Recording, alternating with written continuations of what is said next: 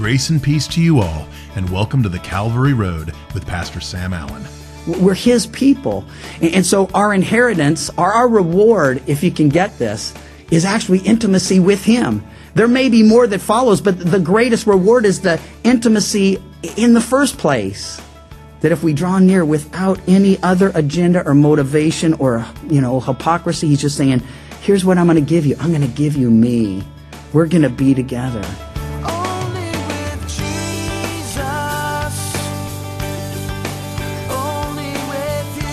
Today, we complete part two of Pastor Sam's message, Prayer and Fasting. Here, we learn about the how and why of these also important things, as well as the heart behind them that our Lord desires for us to have. Let's listen in as Sam begins in Matthew 6, verse 6. So when we pray, He instructs us go into your room. And when you've shut your door, pray to your Father who is in the secret place, and your Father who sees in secret will reward you openly. In contrast to the hypocrite, he says, You go pray in your room. Now, you need to know that this isn't limiting us to private prayer in our room. In fact, Isaac prayed out in a field. Jesus himself, who tells us here to pray in our room, prayed on the top of a mountain. Peter later prays on the top of a rooftop. What's the point? Wherever you can get away from people and get alone with the Lord, that would be a good place to pray. And so he's saying, pray in your room. Well, if you live in a small apartment with a lot of people, your room may not work. And maybe pray in your car. And when you've shut the door, and make sure the radio's off, make sure you drive out of the driveway and park somewhere where people aren't going to see it, then have some time with the Lord. Take some time for serious praise and prayer. And, so when he talks about your room, he's saying we need to find a place where we can really be private with the Lord, where we won't be distracted. And that's the idea of shutting the door, to minimize distractions, to minimize disruptions. Why? Because we're bombarded constantly with all sorts of images and sounds, and it's just difficult to focus in. By the way, in a very practical way, because we're all into multitasking now, you know. It's a new world and we're new people and we can do three things at once. So if you're one of those that think you can watch TV and, and pay your bills on your computer as you have your prayer time with the Lord, let me suggest to you, no, that won't work. You can't do that any more than you can read the paper and watch the news while you talk to your wife or listen to your wife. Let's face it, we're not talking back. We're just grunting. Mm, ah, mm-hmm, mm-mm. You know, you want some slop? Sure. You know, it, it's like we don't even hear it. We don't care. And, and so my point is this: if in our communication in our marriages, well, you get more of that from Bob tonight. But in our communication in our marriages, if, if we're not really paying attention, if we're not really focusing in, if we're not getting eye to eye and, and face to face and heart to heart, well, we're missing something. And, and when it comes to, to, as we saw last time, giving, that's about our relationship to people. This is about our relationship to God directly. So if we're not really honing in on the fact that God's listening and He's there and, and, He's desiring, and this is the most amazing thing of all. He actually wants to be intimate with us. He wants that close connection with each and every one of us. That's mind blowing to consider that, that the God who is so powerful, He could just say, let there be, and all this appeared. He would want to have personal, private, quiet time with me. And what's He saying? Go into the quiet place, shut the door, lock the world out, turn the radio off, turn the TV off, shut off the cell phone, turn off the pager. Let's just get alone. And, that's what the Lord is directing us to do here. Well, when you pray then, he says, go to your room, shut the door, and pray to your Father. You know, a lot of people who believe in God, when they actually approach God, it's all about, hey, you know, uh, the man upstairs. I don't know if they pray, oh, hey, old man upstairs. But, but if your concept is he's the man upstairs or he's distant or he's not really touchable or, listen, he says to pray our Father. We're going to look at that in detail and depth. But even here, he says pray to your Father. He, he wants you to know it's relational. It's not just informational. We're not just passing needs and, and notes and, hey, I got this going, Lord, if you could help out over here. And, and he talks more about that in a moment. But he says, pray to your Father, commune with him, communicate with him. And then something I have trouble doing, so I think maybe some of you might have trouble doing, and that's just waiting on him. You see, if you're going to have an effective prayer life, you need to understand that prayer is a two-way communication. God's intention is that we would speak to him and then we would hear from him. Now, I don't personally hear voices, and my friends in, that are psychologists and such, they say that's a good thing. And, uh, and so I'm not troubled by the fact that I don't hear voices. But, and I have noticed that some people say, well, God speaks to me audibly. And, and hey, He may do that. But I have noticed, and I'm not picking on you, but I, I have noticed that most people who tell me that, they're fairly strange, you know, and, and, they just are. You know, they they come up and they said, the Lord spoke to me. And I'm like, truly? He said audibly. And I'm like, whoa. And they're like, he has a word for you. I'm like, what is it? And then they give me this bizarre, obscure thing. I can, like, what does that mean? They go, I have no clue. And, and I'm like, well, I don't have any clue. And ordinarily when God speaks to me, he speaks in a way that I can understand him. Why? Isn't that the whole point of communication? To make your heart known, to make yourself known, to, to make your will or your desires known, to bless that person, to draw them close. And so communication that isn't communicating anything, it's not from the Lord. I had someone come up and ask me, I, I can't remember when it was. It was the other, other night after Wednesday night or Friday night after some night. And the guy said, can the Lord speak to someone just once, have him prophesy to you? And I said, yeah, I think so. I mean, it happened. Saul was anointed just once to prophesy. And they said, hey, Saul's among the prophets. Only happened once. I said, that can happen. And they said, well, somebody said something to me a long time ago and I've been trying to figure it out for you in like 10 years. I'm like, that's not the Lord. When the Lord speaks, you know. You know it's Him. And you know what He's trying to say. And, and so the, the thing is, is if you're gonna come to the Lord in prayer, and, and my prayer is that we'll be more serious about prayer as a result of our time and study. See, we can learn about prayer, but that's not prayer. We can study and affirm and all that stuff and, and make sense of it, but we gotta actually pray to have a prayer life. And, and, when I pray, I try to do three things. I come to the Lord with an open schedule. What that means is I, I'm going to have some time that, that I definitely have some time. I'm not going to say, well, I got appointment in two minutes, Lord. Maybe they'll be late. Let's spend some time together. Pam doesn't like that, and I don't think the Lord would like it either. Better for the two minutes with them than not at all. But I'm saying if you care about someone and you want a deeper, closer relationship, you cultivate and you schedule out the time. And so you've got an open schedule. And then you have an open heart. You're not just talking to the Lord, but you're listening to the Lord. And, and, I find that He speaks best to me through His Word. So I not only have an open schedule and an open heart, I have an open Bible. And, and, I'll just read through the Scripture and I'll say, Lord, I know that you want to speak to me. And, and of course, He's not limited to what I'm reading right now. Anything I've ever read in His Word, anything I've ever heard, He promises by His Spirit He can bring that to my remembrance. He can do that for you too. So, so you don't even have to have your Bible open, but I just find it's a good thing to, to open my heart to Him, to open my time to Him, and to open His Word and say, Lord, speak to me. I want to be changed. I want to think like you do. I want to be like you are. And so I need and, and you need to learn to wait on the Father, to, to not just pray, but to pause and to wait and to listen. And, note this, even as he said the hypocrite gets a reward, he says you, in contrast to the hypocrite, you'll be rewarded likewise. Well, as well. Maybe not likewise, because does that mean the same as the hypocrite? Oh, I don't know. It doesn't matter. But uh, he who sees in secret will reward you openly there in, in the latter part of verse 8. Now, now here's the thing with prayer. Some of us have been led to believe that when we pray, the reward will be we get whatever we're praying for. That hasn't been my personal experience. Sometimes I get what I'm praying for, but oftentimes God's like, you're so far from getting it, aren't you? I'm not going to do that. I'm not going to give you that. I'm not going to mess you up that way. So God doesn't always answer the way I think he should or will. And we'll talk more about that next time. But, but where I'm going with this is that there are rewards promised for drawing near to the Lord. You know, to Abraham in Genesis 15, God said, Hey, I am your shield and your exceedingly great reward. He said, Abraham, you've got me. This is what you get. Draw near to me. You get me. Hey, that is an amazing deal when it's God making the offer.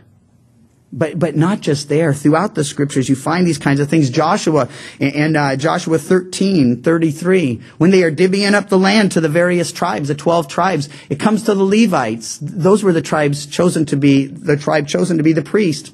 And God says, I'm not going to give you inheritance as I am the others. They have their land, they've got their temporal blessings. I will be your inheritance. He says he's made us a, kingdom, a nation of priests unto him. We're his people. And so our inheritance, our, our reward, if you can get this, is actually intimacy with him. There may be more that follows, but the greatest reward is the intimacy in the first place that if we draw near without any other agenda or motivation or, you know, hypocrisy, he's just saying, here's what I'm going to give you. I'm going to give you me. We're going to be together.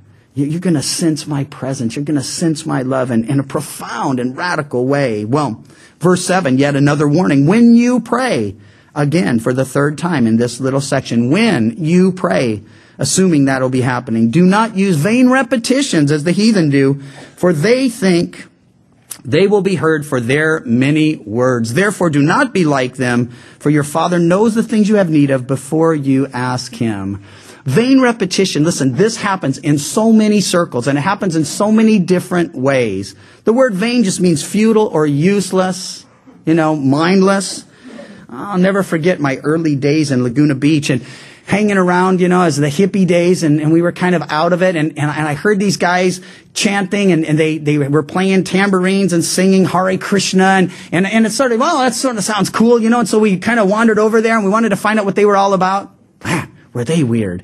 It- it- pink skirts, guys and gals, you know, weird hair, bad food, and, and, and a very limited song, you know, Hare Krishna, Hare Rama, Hare Rama, Hare Krishna. I mean, come on.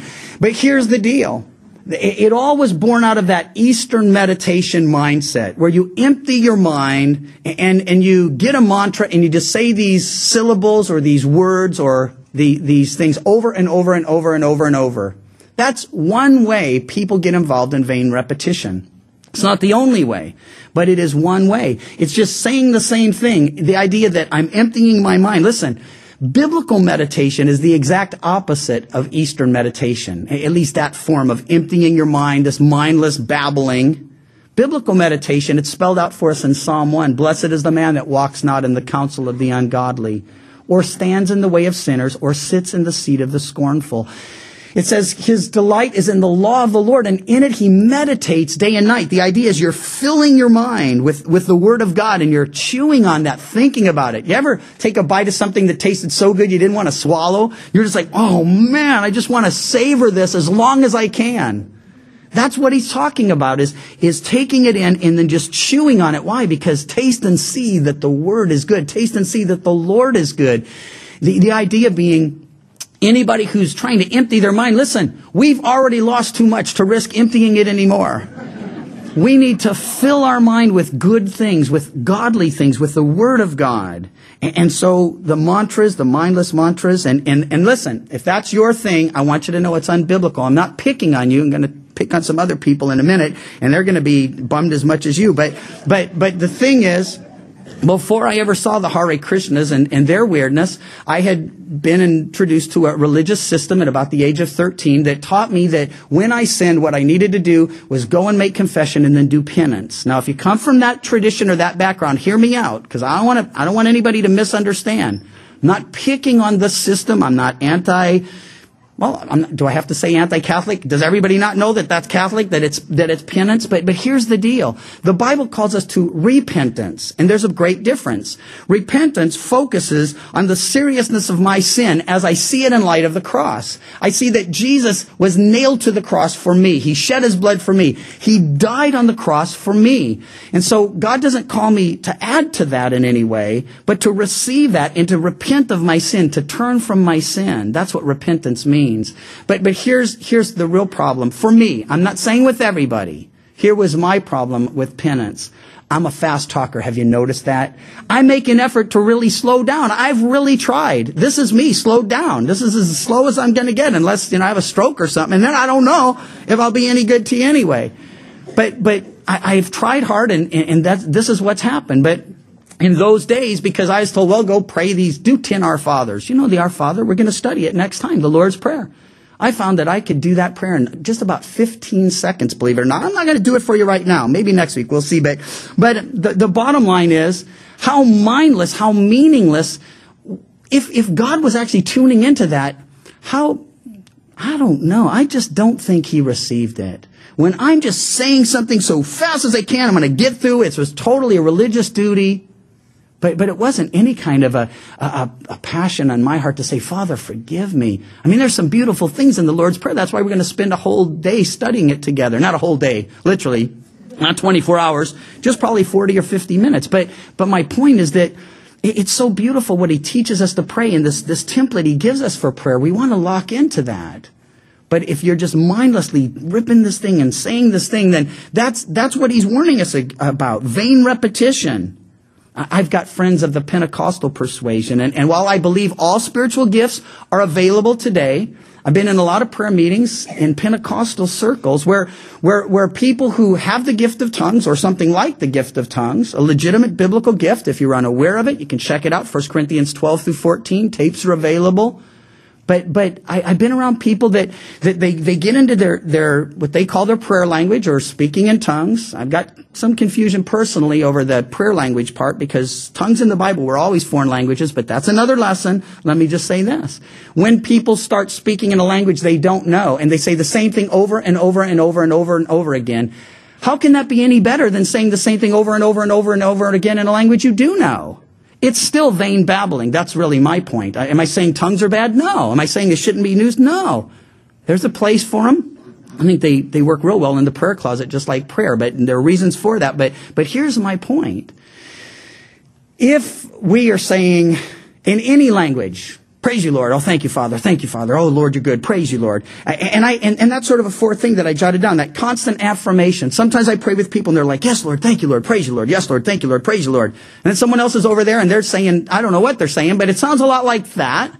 You know, it's three, three or four syllables over and over and over and over. And I'm like, man, you're distracting me. I'm trying to talk to the Father and, and you're like, rah, rah, rah, rah, you know, it's, if you were a TV, I'd turn you off, but you're live and in person. And, and, and because that happens, we need to check our motivations. We need to say, Lord, is that what I do? You know, there's nothing wrong with, with agreeing in prayer, but you can do that under your breath. If you're in a group praying and someone's praying and, and, your and your heart is saying, yes, Lord, I, I agree, Lord, me too, Lord. Well, that's fine to say that, but you should be saying it a tenth of the volume of the person who's praying. Why? Because how can anyone else say yes, Lord, if you are interrupting constantly? It's chaos. It's confusion, and God isn't the author of confusion. Well, there are other ways we can get involved in vain repetition, but the whole point is, if it's repetitious, it may be vain. Now, now know this. It's not always going to be that way. Be, because our Lord prays three times in the garden, Father, if there's any other way, let this cup pass. He prayed those same things three times. Listen, that wasn't vain repetition. That was just seeking for confirmation. Father, are you sure? I mean, if there's another way, if, if, if, if she could be saved, if he could be saved, if we can be saved any other way, let's go that way. Why? What was Jesus saying? That if it's possible for us to get to God any other way but through him and his sacrifice on the cross, well, he wanted that. Jesus didn't want to die that shameful, painful, horrible, torturous death. He did it willingly, but only because there was no other way. And so it's possible to pray and pray again. He's not saying once you've prayed, don't ever, you know, bring it up again. But he's saying don't get into a vain repetition where you're just saying the words, but you're not even grasping the meaning. Where you're going through the motions, but you're not for real with God. And so that last thing we read there in verse 8 too, it, it kind of, it blows your mind the first time you realize it. Don't be like them, he says. Contrasting us once again with them, and I like that. Contrasting the, the, the believer who prays and, and, pray, and praises and, and in reality with the hypocrite. He says, for your father knows the things you have need of before you ask him. Your father knows. He's omniscient. That's a theological term. That means when we're praying, we're not educating God about our situation or enlightening him. And sometimes I hear people praying like that. I know they're not praying to us. They really are praying to God, but they're praying like he's been clueless or on vacation or has been missing stuff. And all of a sudden you realize, hey, God knows everything. Calm down. Just, just say, Lord, I'm in big trouble here. He knows that. The whole point is we're humbling ourselves enough to come and say, Lord, I need your help. I need your wisdom. I need your guidance.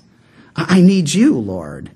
So we're not educating, enlightening, or listing God's options, and I hear people do all of those things in prayer. Nor are we convincing and directing or limiting His options. Sometimes people think, well, if I just keep going, God will give up. You know, it's like the child that says, if I badger him long enough, he'll give me the keys. He'll give me the money. He'll give me something. Just go, go, go. Just leave me alone. God's never going to say yes to that. He's never going to go for that. Why? He's just going to say, I'm not, I'm not tuning into this. We're not connecting on this. And so real prayer is going to realize, okay, God already knows everything. He told me to pray, so I'm coming, Lord, because you told me to bring my needs to you. You told me to humble myself before you. You told me to, to trust in you. And, and what's really going on? we're drawing near to God. That's what He wants in the first place. Close communication, connectedness. Hey, isn't that what everyone who loves someone wants? They want to be loved in return. They want to connect. That's what God's trying to do.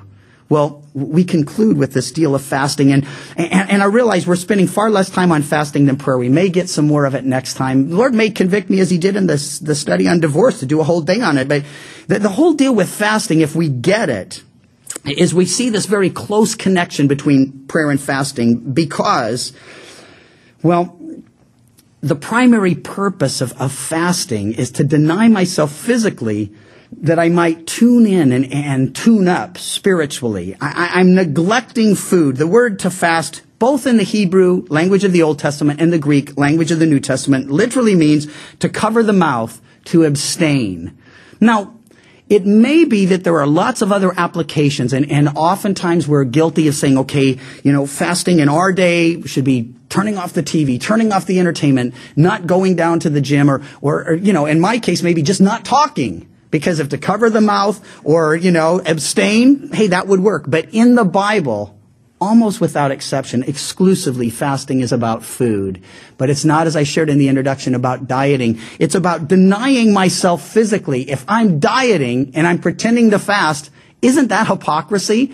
If the very reason I'm doing it is I want to be thinner or I want to be healthier, even if I have a good motivation for it, but I'm pretending my motivation is spiritual, well, that's hypocrisy. Now, I'm not saying you guys shouldn't diet. I, I'm not saying you need to diet, but I'm not saying you shouldn't. If you need to diet, fine. But you don't call it a fast. If you have a, a, a petition list and you're just going to come to the Lord and say, hey, I need this and I want this and I had to have thi- I- this is coming up and that's going to going down and Lord, that's not real prayer. And so fasting and prayer, man, they go together like this. I deny myself physically. It's this simple. Eating takes time. Why? Because first you got to go shop and buy the food. And, then you got to bring it home and, and you got to unpackage it. And then you got to cook it. And then you got to eat it. And then you got to clean up after it. And so if you deny yourself, not just a meal, but, but a day. That's the Jewish fast, by the way, 6 a.m. to 6 p.m. If, if you were to deny yourself eating for just those 12 hours, I know you're going to pig out at 6.01, and that's okay. But that means no breakfast, no lunch, and you're going to have a nice, reasonable, sensible dinner. And, uh, but, but because you didn't shop or prepare or eat or clean up for breakfast or for lunch, if you can get through that, you know, then, then, and if you're doing that, by the way, if you're working, you don't do it on your day that you're working. You go to work all spaced out and you're like, oh man, what's wrong with you? I'm not eating anything. I'm on the spiritual thing, you know? They're going to be like, hey, I had you to work, not to space out at work.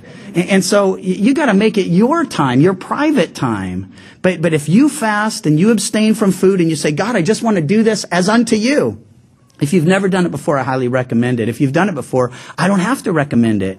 Because the very fact that we're denying ourselves physically in order to engage Him spiritually, you've got to know good things are going to come from that practically. Well, that leaves us here. Most of us today can pray our Father. Not all of us can pray our Father, though why? Contrary to public, you know, opinion when it comes to the things of God, we're not all children of God. Jesus is the one who said, you must be born again. Unless a man or a woman be born again, he'll never see, she'll never see the kingdom of God. It, it isn't that we're his child, we're his creation, but he wants us to be his child. How does that happen? I realize that I was made for God by God, for God, and my sin has separated me from God. I see the purpose of the cross. Jesus died for my sins. He was buried and he rose again the third day. I humble myself before him and I pray an honest prayer. Lord, be merciful to me, a sinner. You know, there's no actual sinner's prayer. We pray a prayer like, Lord, come into my life, forgive me my sin, be my Lord and Savior. It's not unbiblical to pray it, but it's, it's, it's extra biblical. It's not in the Bible. The, the prayers that are in the Bible, the ones that I, I see instant answers to, Lord, be merciful to me, a sinner. Lord, help. I mean, those kind of prayers, they get an answer. Why? They're real. It is one thing to be told that you have a Father in heaven, and it's quite another when we embrace the reality of this truth. You see, we can have no greater advocate than we have in Jesus, and there can be no greater way for us to celebrate in this than through an open line of communication with Him.